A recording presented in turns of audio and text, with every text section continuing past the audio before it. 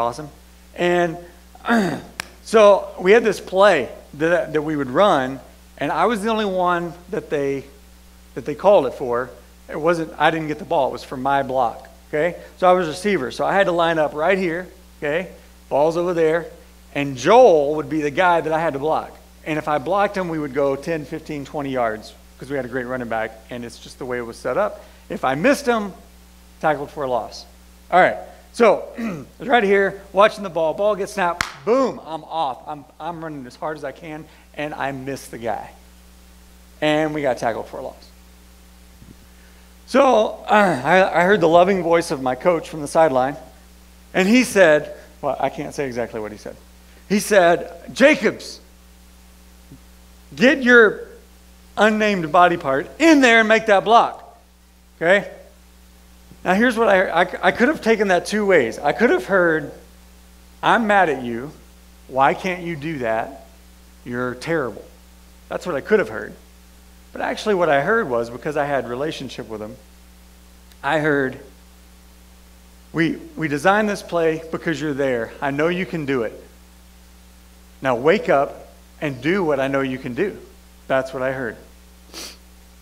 Fast forward, we ran it two more times that game. Next time, got the block. We went 20, 25 yards. I don't remember. The time after that, I got the guy, knocked him off his feet into the next guy, and got them both. Now that was cool, especially the next day when they did it on film and they rewound. Anyways, that's just a football thing. That's kind of the message I'm going to give today. Okay? If I can get what's inside of me with this message out, I should be extremely passionate. And it should be a wake up call. Okay? Not that we're not already awake, but let's amp it up a bit. And I'm preaching to myself. Okay? So I'm going to watch the video when we get done and preach to myself. So, if you think I'm just being mean, I'm not being mean. I'm preaching to me. All right, real quick. How many of you love your families? A lot. I saw some hands go down. That's rude. I'm just kidding. All right. So, keep your hands up. How many of you are not going to raise your hand whether no matter what I ask you? Okay, good. Yeah, yeah. Oh, I, I know one back in the back row wearing a coat and married to me. Um, so, uh, all right, so you love your families, right? How many of you would say that there's nothing they could do that could ever, just pick one, pick your favorite one, that there's nothing that they would ever do to take your love away from them? Keep your hands up if that's, oh, this is going to be fun. All right, cool. You can put your hands down now. We'll get to that. So, right now, uh, it's not up there, but we're actually in a series called The Cost, right? Are we still in that? We're still in that, whether we are or not, called The Cost. Luke 14. You don't have to turn there, it's fine. I didn't tell you to. I've got mine bookmarked. Luke 14, 26 through 28, and then again, verse 33. This is Jesus speaking. If you want to be my follower, you must love me more than your own father and mother wife and children, brothers and sisters, yes, more than your own life. Otherwise, you cannot be my disciple. And you cannot be my disciple if you do not carry your own cross and follow me. But don't begin until you count the cost. Jesus said, you need, you need to pay attention to this. I want you with me, but don't even start until you've counted the cost. What is the cost? Verse 33 No one can become my disciple without giving up everything for me. The cost is everything. I'm not talking about material things, I'm talking about you, us, me, everything. We're going to get there. Luke 9 23, 24. Take up your cross daily and deny yourself. John 15 13. Greater love has no one except to give up his life for another. so the cost is we have to give up everything.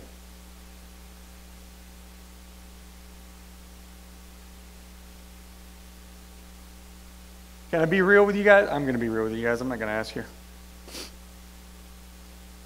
Scripture tells us when we come to church, we're supposed to bring something. We're supposed to have something to give. If church was for me, waking up on Sunday morning, doing my normal thing, coming to church, saying hi to some people, sitting down, singing some songs, um, listening to a message, saying goodbye to some folks, going home and watching football, I wouldn't come. Games start at 11. I'd stay at home and watch them. I, it, doesn't, it doesn't do anything for me. This is just me personally. But it doesn't do anything for me to come here and just be a, a watcher. I can't think of the spe, uh, spectator. That's the word. To be a spectator, I've got to be involved. I've got to do so. I've got to find somebody and pray for them. I've got to find somebody and give them a word. I've got to. Uh, that's what I've got to do because otherwise, what's the point?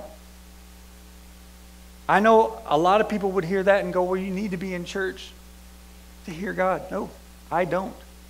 No, you don't. You can hear God at home. If it's just you and God, you can do that anywhere because He's inside of you and He's everywhere. So you don't have to come here.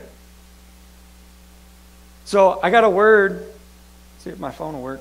I got a word a couple couple weeks ago. Thinking about this message. I heard this clearly. Very clearly. This people will completely revolutionize this city and surrounding communities when we stop making church and Christianity about ourselves and instead make it about love. Loving others and loving God. Then there was a pause, and then I heard this. Actually, there will be a people that does this. Will it be you? Will it be us? The cost is everything. We'll get into more of what that cost is here in just a minute. So, uh, this is really interesting because of the, uh, the verse that Taylor brought up. It's Mark 16. Um, I don't just know that, I have it written down. Um, so we do, we pursue the supernatural here at this church. We pursue signs and wonders. And we're supposed to. 1 Corinthians 14, verse 1 says, earnestly desire the gifts of the Spirit. That's what it says, right? Yes, that's right, Aaron. I'll, uh, I'll encourage myself. It's okay.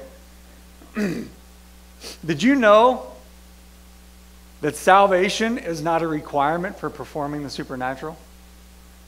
Did you know that you don't have to be saved to heal somebody? How many does that mess with? It messed with me, but it's true. Matthew 7, verses 21 23. Jesus says, Many will come to me and say, Lord, Lord, didn't we prophesy in your name? Didn't we heal the sick? Didn't we do many miracles and signs? And he says, Depart from me, for I never knew you. The things you did were unauthorized. Man, that sounds harsh.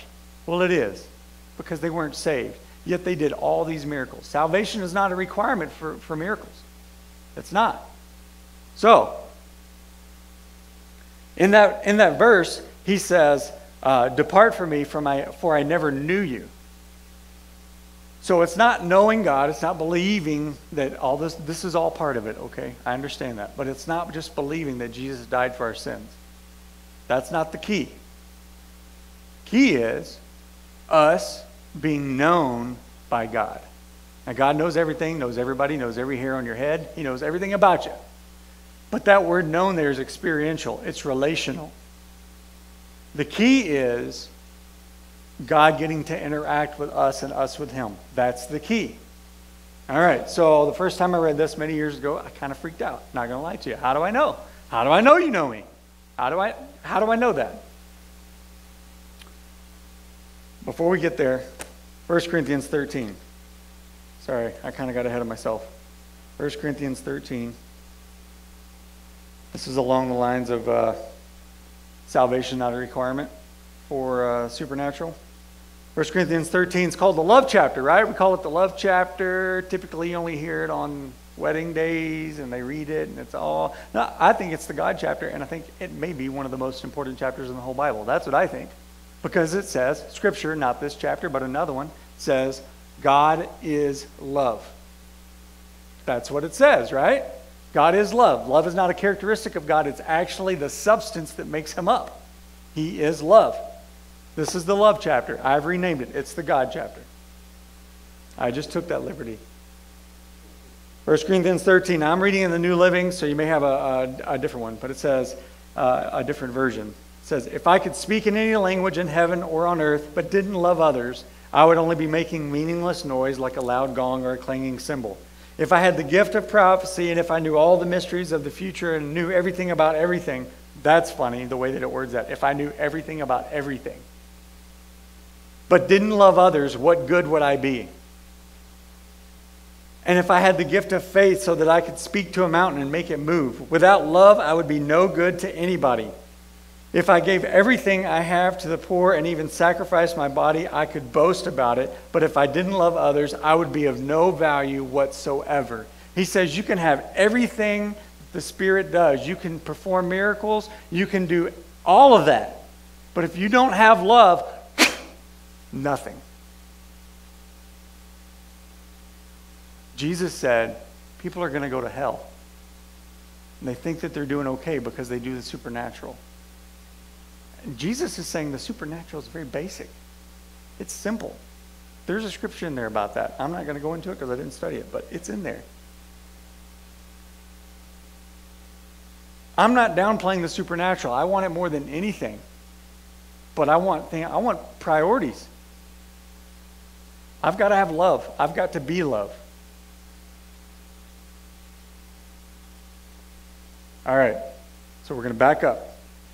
So you can have all that. You don't have love, you don't have anything. The key is being known by God, right? Very quickly, I'll run you through this.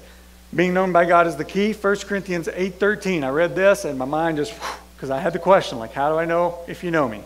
1 Corinthians 8:13. Whoever loves God is known by God. Very simple. John 14, 15. If you love me, obey my commands. I'm giving you a little circle here. I'm tying it all together. Matthew, so if you love me, obey my commands. Okay, well, what are your commands? Well, there's a lot of them, but he summed it up in two Matthew 22, 37 through 40, the greatest commandment, and the second greatest commandment, which is love God with, we'll say it this way love God with everything you have, all that is you, love God. And then he says, and love others as you love yourself, which I think is a huge key because we don't realize that there is no there is therefore no condemnation for those who are in Christ Jesus. So if you're in Jesus, you are not condemned and you have every reason to love yourself. Why? Because he loves you. We love him because he first loved us. And if we can love us because of that, all the stuff that we do, all the stuff that is wrong, that we try to attain to, some sort of right living, all of that stuff been washed clean. The stuff that you have done, the stuff that you're doing, the stuff that you're going to do, it's all been, been washed clean. Our goal is to make our actions in our lives align with that reality. And I'm just, I'll, I'll go ahead and say this that when we do that, all that stuff that we try to do right and not sin, it goes away anyways. Because it's in love. So love God, love others. Greater love has no one except to lay down his life for another. That doesn't mean die for them. Could it could, but that doesn't that's not what he's referring to. Check the time. He's not referring okay again, could be. He did it. He laid down his life and actually died for us. But that's not what he's talking about. He's actually talking about living your lives for others. The greatest commandment is to love God, and the second greatest is to love others. Nowhere in there does he say, uh, make sure that you have a really good connection with me. That's, that's a really important thing. No, you love God. Okay, I, I get that I'm on, I'm on sketchy ground here because you're like, oh, well, you're supposed to have a good connection. Well, of course you are. But the goal is your life is not so you have a good connection with God.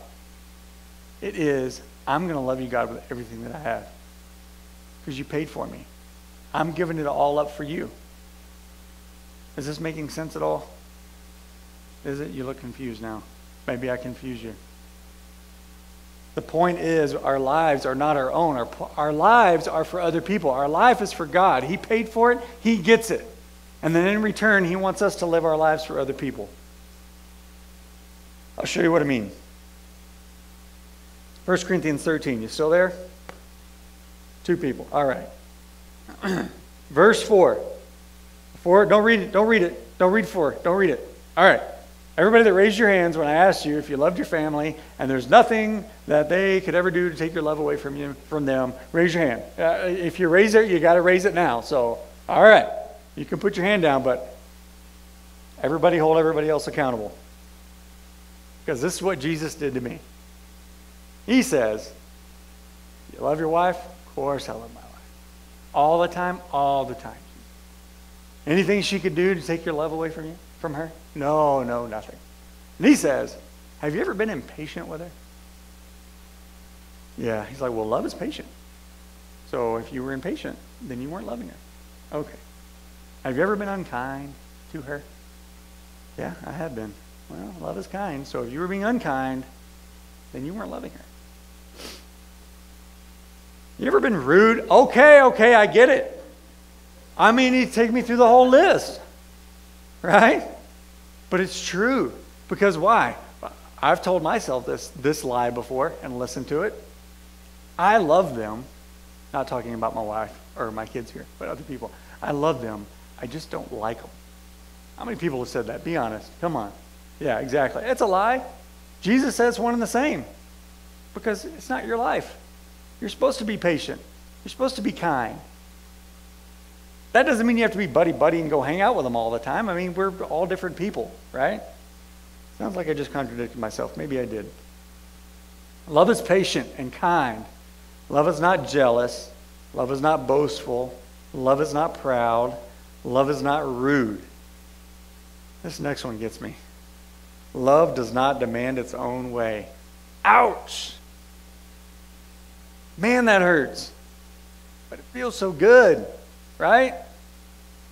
Well, no, no, I can, I can, I can take a stand because I didn't do anything wrong and they're just in a bad mood and they need to change their mood. And when they change their mood, then I won't tell them what I need. It's not what it's saying. Love does not demand its own way. Well, what do you do when your family members are rude to you. You love them.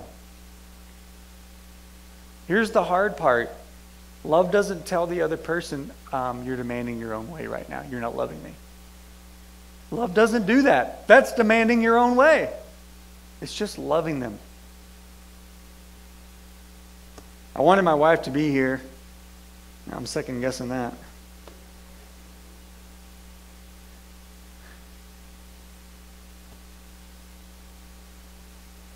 Love is not irritable. Man, it just gets tougher and tougher and tougher. And it keeps no record of when it has been wronged. It is never glad about injustice, but rejoices whenever the truth wins out. This one's tough because we do have an election right now, right? So we watch the debates. Oh, got him, got her. When it's just trash, anyways, right? Rejoicing in injustice. That's what. That's how I interpret that, anyways. Just an example. Love never gives up. Love never loses faith. Love is always hopeful. And love endures through every circumstance. Our lives are not meant for our own, our lives are meant for other people. All other people. So, going back to the verse that, that Taylor mentioned, Mark 16, I think it's verse 17 says, uh, Whoever believes in me, these signs shall follow. Lay your hands on the sick, they'll get better. That's my translation. I don't really remember the verse, but you guys know which one I'm talking about, right? And if you don't, it's Mark 16, verse 17. Go back and read it. The thing that kills me about that verse is it says these signs will follow those. So I've been pondering that. Like, I, I don't understand. Scripture does this. Watching my time. Scripture says this, doesn't do this, it, it says this. That Um, I don't remember what verse, so I'm, I apologize. I don't have this verse memorized, but there is a verse that, contra- that, that compares belief and obedience. And it basically says um, if you believe Jesus, da da da da da, but for everyone who does not obey. So if you believe, then you obey. We've already seen that you could compare obedience and loving God. It's all about love every bit of it. Is it possible that we only see some supernatural signs, some healings, some this, some that, because there's a, maybe a love deficit in the church? Is that possible? It's possible in me. I'll be honest with you. I don't love everyone the way that I should. I still get mad at the guy when he cuts me off in the car. You know? That's what I think. I really do I really do think that. I don't know it yet because I haven't seen the evidence, but I think once we get this love thing figured out, supernatural goes up. We don't do it for the supernatural, right? They're just a sign that point to a reality, like an exit sign. You don't crawl through the exit sign, you crawl, go through the door, right? Supernatural sign points to God. God loves you. Here's how you know.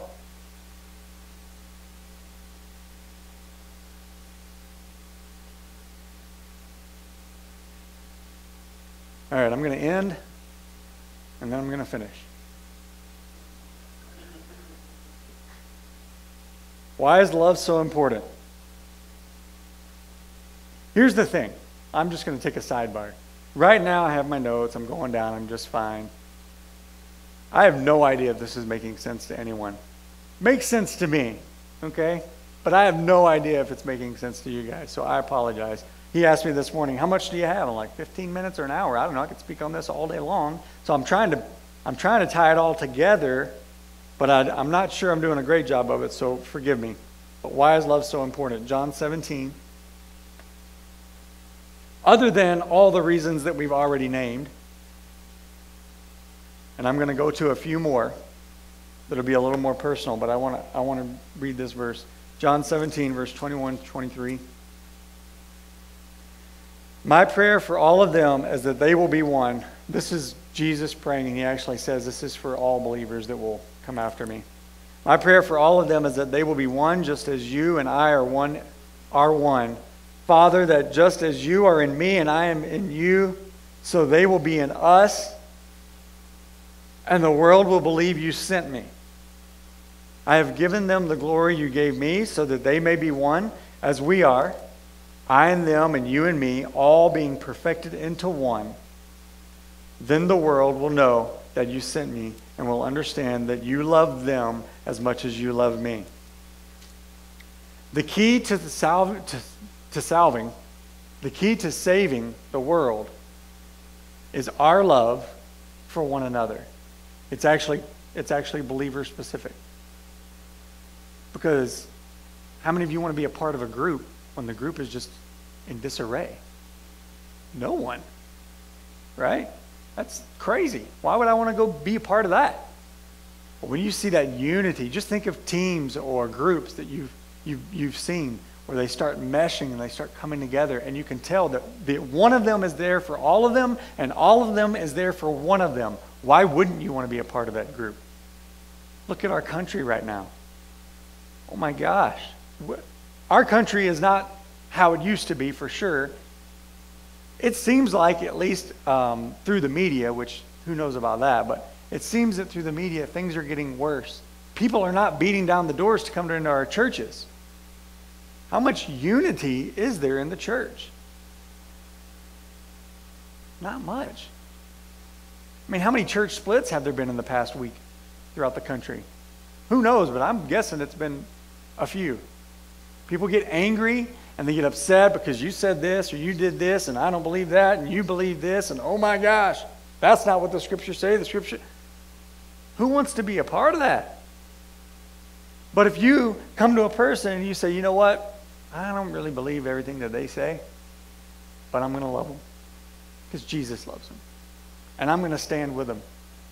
I promise you, I could stand up here today and tell you things that I believe, and before I was done, we'd all be just offended at each other. Because if we went down that road, okay? Because I believe things that you don't, and you believe things that I don't. But it doesn't matter. Jesus is Lord. Jesus is King. Jesus loves you. Jesus loves me. He loves everybody in the whole world, and He wants everybody with Him in heaven forever. What else do we need? Well, I don't believe in healing. Okay, so what do you do with the ones when somebody says, you know, I'd heal you in Jesus' name and they get healed? You don't have to believe in healing. But there's no sense in being upset about it. They don't believe in healing. We're not better than them. We're nothing. We have to give up our lives, everything, all of it, all of our desires. Give it all up and hand it to Jesus and say, Here's my life. How do I love other people? You tell me. That's the key. That's the goal. When we walk out of here today, some of you are going to go to lunch. Love on your waiter or waitress. Sunday's the worst day to wait tables. The rudest people, the lowest tips. Let's change that. But let's change it every day. Let's just start loving people. Signs will follow. Signs will follow, but let's just start loving people. Has any of this made sense? Good. Just discount all that didn't. All right, I'm going to wrap it up.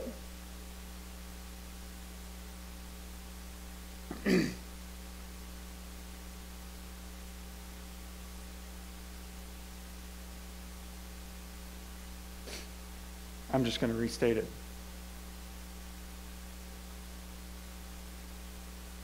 Todd White says it this way. You guys don't know Todd White? Look him up. It's good stuff. What's funny is when you listen to Todd, he's going to make you do one of two things. You're either going to be completely humbled and go, I want that. Or you're going to go, there's no way that's real. And you might do a little bit of both. I think I did, but I love the guy. Never met him, but I love the guy. He says it this way The cost to follow Jesus is nothing more than what you were never created to be in the first place. We were never created to live our own lives. We were created to give our lives to Jesus. And we were created to love other people. We were never created to demand our own way, to be impatient, to be selfish. Never created for that. That's the key. When we, when we die to ourselves, deny ourselves, die to ourselves, however you want to say it, we step into a place with Jesus where he has complete access to every part of us. If you read 1 Corinthians 13, verses 4 through 7, and you should, and you look at the, uh, uh, the fruit of the Spirit, those two things, you put them together, there's no stress there. We were not created to live in stress. When we get stressed, we get sick, we get tired, we get irritable, we get impatient, we get, I mean, you see what I'm saying? So, we weren't created to live in stress. That's what Jesus wants to give us life in abundance, that he says in John 10. And that's all that it is. You give me your life, I'll give you life in abundance. And in that is complete peace, it's complete love, it's complete health. I know, I'm getting crazy now. I'm talking about divine health here on earth. I, I think it's possible. I do. Because he said he could do infinitely above, beyond more than I could ever dare to dream or ask or think. I'm not sure how that goes, but it's, that covers it. And I've thought that. And I think it's possible. And he can do better. Okay. I'm going to be done. What's interesting was I was going to end the same way that Taylor started, praying for everybody if you if you wanted stuff. I'm still going to pray for you.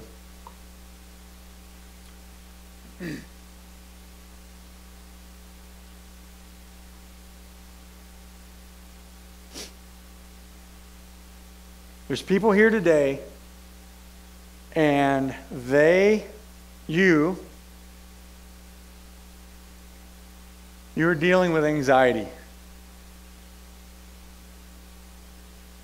Anxiety comes from worry. I dealt with it for years. Years. Made me physically ill, had no idea what was wrong with me.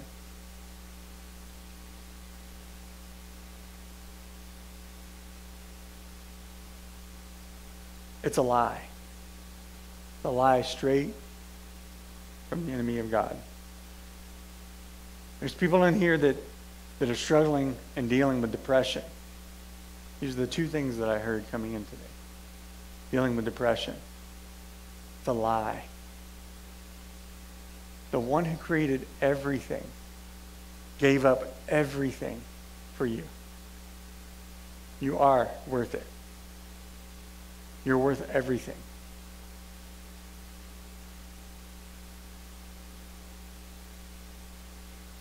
It's a lie. The hard part about that is is the is getting to the point where you can believe not listening to the lie. And I get that. I get that maybe more more than most people. I don't know. I get that. I was there. It's as simple as this.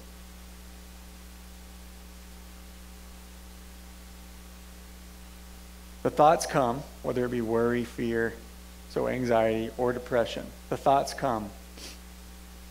And it's, it literally is this that's not what Jesus says. He says this. And then you align your, your body, everything in you, you align your actions into that truth, not the lie.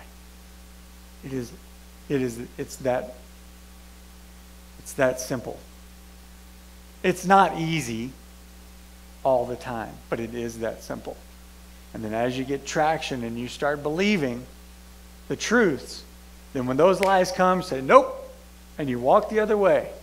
It's the, it is the, it's that it becomes that easy. So here's what I want to do. I want to pray right now. I, I don't need hands. You don't have to. You can stand up if you want, but it's you're doing it for you and the Lord. It's not for me. But if you deal with anxiety or depression, those two things, we're going to break that off of you right now. And I just want to point out, I'm praying right now, and you're praying right now, and we're agreeing, where two or more agree on anything, it will be done, right? That's what it says. But let me tell you something. It was broken off of you 2,000 years ago. It's already been done.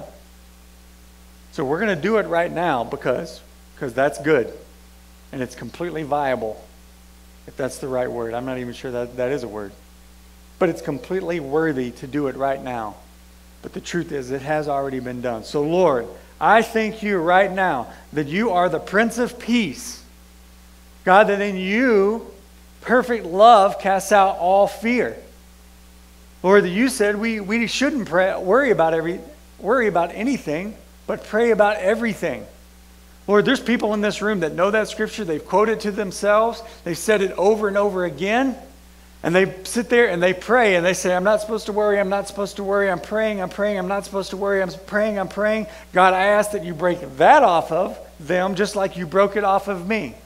And that we step in to pray, and it is, Jesus, there is no fear in you. I am not afraid because you are with me. And that is it. God, that that courage and that boldness that it takes to step into that and not worry God, that you would pre- present that to those who are dealing with anxiety. And God, with depression, Lord, I ask right now in your name that your love for every person in this room overwhelm every heart.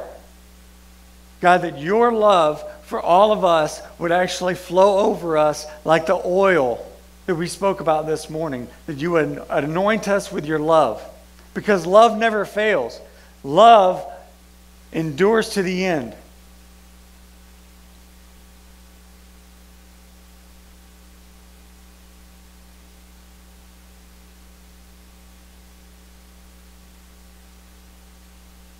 Amen. That's good stuff.